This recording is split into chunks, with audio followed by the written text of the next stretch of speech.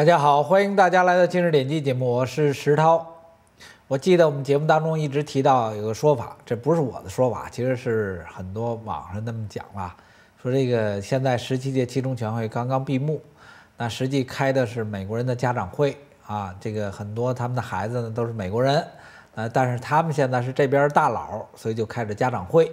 所以到不知道这会呢是为了能够高举的这个中华人民共和国的伟大旗帜呢，还是说什么时候咱们可以跟美国人互通有无呢？不知道。这事儿确实有点迷糊，那美国人坏，人家孩子到你这儿来了，你就好好照顾不就完了吗？对不对？又带着钱来买房子置地的，你现在挺关心这个什么就业率的啊？你他不用就业，他可以创造就业机会，他有钱呀。那你还说什么其他的？不，这美国社会是自由的社会，所以这些自由学者们也不知道是为了配合白宫呢，还是什么意思。他就在七中全会坑底儿开会的时候呢，连续写了两篇文章，非说今天在北京京西宾馆开会的这些家长有危险。你说这美国人，你说这不爱国者导弹就完了吗？爱国者导弹保的是你自己的国家，你招惹人什么中华人民共和国呢？可是换个角度上说，这些。在中华人民共和国京西宾馆、北京京西宾馆开会呢，又都是美国人的家长，你说人一点关系都没有吗？不可能，那叫直系亲属。那网上有篇文章这么说的：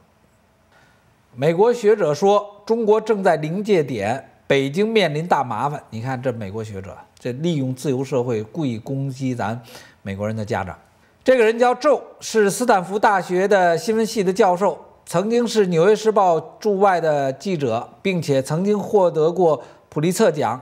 那他在星期五在美国旧金山写了一篇文章，文章的原题目叫《中国有大麻烦，美国应该担心吗？》美国人算账算挺实惠，他老拿数说话。他说，最近几个月呢，瑞士手表对中国的销售额呢下降了百分之三十，那珠宝销售暴跌，说明中国经济有问题。紧接着就提到说，美国的总统大选在星期二将要举行，那两党候选人呢都在很就是有关中国问题呢，他们心里呢说法不一。然后他紧接着就提到说，其实你不用着急，两党的总统候选人呢都不用着急，你只要看看中国到底在发生着什么，所以你根本不用担心中国，也不用把中国当成假想的敌人，因为今天的中华人民共和国。自个儿玩自个儿，自个儿坑自个儿，自个儿害自个儿，自个儿给自个儿下绊儿。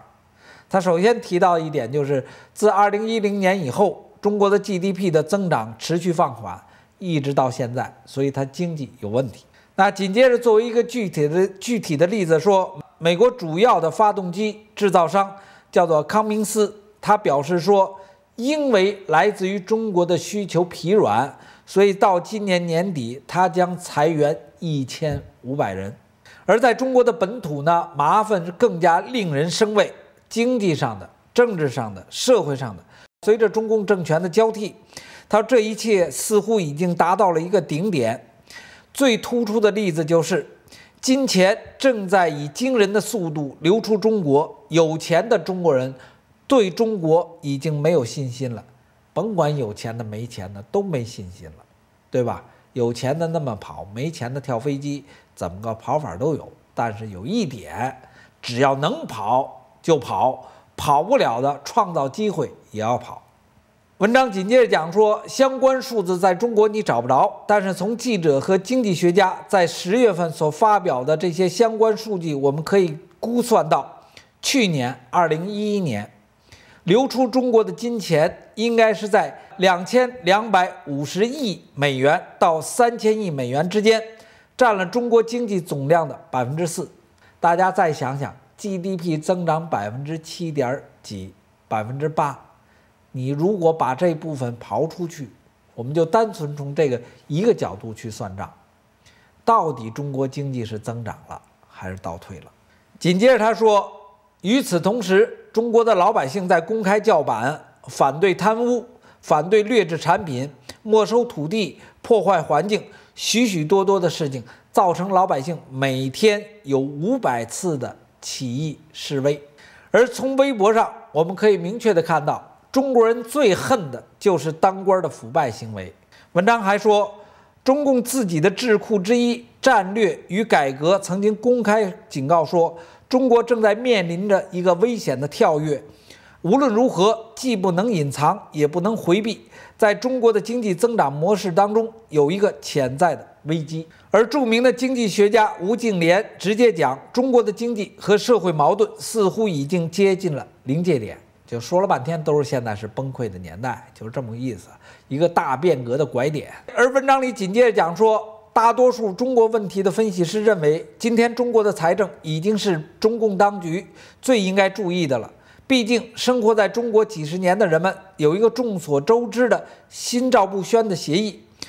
人们中国人不得不接受独裁的统治。只要这个统治者可以使他们的发展更加的繁荣，但是现今的统治者已经没办法满足今天老百姓的这个基本要求了。所以文章的最后就提到说，几乎所有这一切都为中国新的领导人，也就是习近平带来了一个可怕的迫在眉睫的问题。因此，作为美国政府来讲，无论谁成为美国总统，你到底担心什么呢？美国人老坏了，故意嘲讽人，对吧？嘲讽今天的美国人的家长，中共中央委员、中共中央政治局委员和中共中央候补委员，应该是这么理解。那我们现在看到这张呃照片呢，就是这篇文章的原文。那第二篇文章我们看到的还是美国人写的文章，题目这么讲。紧张、惶恐，十八大前，北京高层明确放出了信号。这篇文章登在了呃芝加哥著名的论坛报上，这是芝加哥非常有，这是北美非常有名的报纸。他讲说，如果你这个星期在北京有一些东西你找不着，你找不着气球，你找不着乒乓球，在酒店的健身房里你找不着 C N 的节目，而坐出租车外出的时候，你不能把窗户摇下来。而且你也看不着持不同证件者，这就乒乓球跟气球与持不同证件者和 C N 的节目同样的危险。他说这些东西的短缺的原因很简单，保证十八大不受任何干扰。那文章紧接着讲说，刚才列举的那些内容并不是整体的全部。根据《洛杉矶时报》的报道，你今天在北京有些事情不能做。不能做的事情包括户外音乐会、网上做功课、在超市里买个菜刀、剪子、在街头小食品店买个午餐盒、参加北京马拉松。北京马拉松取消了，对等的挺有意思。纽约的马拉松也取消了，但纽约的马拉松取消是因为大风暴。文章紧接着讲说。独裁的中共政权可能看起来是牢不可破，但是现在现实的一切可以明确地感受出它的脆弱。共产党的领导人们在拧紧了控制，让人们毫无怀疑的是可以意识到他们是多么害怕自己的人民。这是没错的，这个在我们昨天节目当中已经跟大家分享了，对吧？保证十八大胜利召开。而所有保证的图片演示出来都是武装到牙齿的，就像当年作为我们上学时形容美帝国主义的士兵一样，武装到牙齿，手持盾牌、棍棒，拿着什么各种颜色的什么喷火器、喷灭器，甭管爱什么气什么气吧。但你说他喷谁呀？武装到牙齿，他防什么呢？扭脸一看，一个老外都没有。就是你我他，老百姓。那你说这群武装到牙齿的这群人，不是有点像北京，有点像这个，呃，上海南京路上的二吗？您说对不对？你妈也是老百姓哎，你爹也是老百姓哎，你武装到牙齿，你冲着老百姓干，你算个怎么回事儿？有点像日本女孩缺心眼子。文章紧接着讲说，另外一个问题就是中共党内自己的问题，党内出现了动乱，而中共的体制本身呢，同样造成了老百姓的反抗。他讲说，老百姓、国民的抗议活动蔓延，同样是中共担忧的另外一个问题。文章紧接着讲说，中共自己作为独裁政权，他们曾经成功的通过经济自由化、带来了转型，从而维持他们自己的政治权利本身的垄断。而经济自由化也是中共官方共产主义意识的这种嘲弄。对他这话，因为是翻译过来的嘛，实际就是说，呃，经济自由化本身跟共产主义社会的意识形态是不相吻合的，它是冲突的。文章最后他是这么讲的：虽然中国令人惊叹的成就在过去曾经帮助中国共产党保留了自己的权利，但是同样，它势必在及时的削弱这个政权本身。不断壮大的中产阶级，可能就是在中国社会出现民主变革的这种先兆。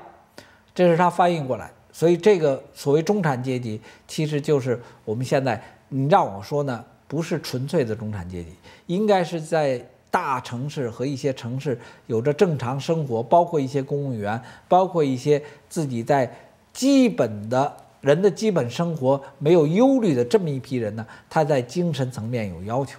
可是现今的生活环境呢，实际是对他们精神层面、文化层层面呢是一种限制，所以这就是所谓的民主变革的先兆的一个群体。那我们现在看到的呢是这篇文章本身的呃英文版的文章。那好，这期节目就到这里，谢谢大家，再见。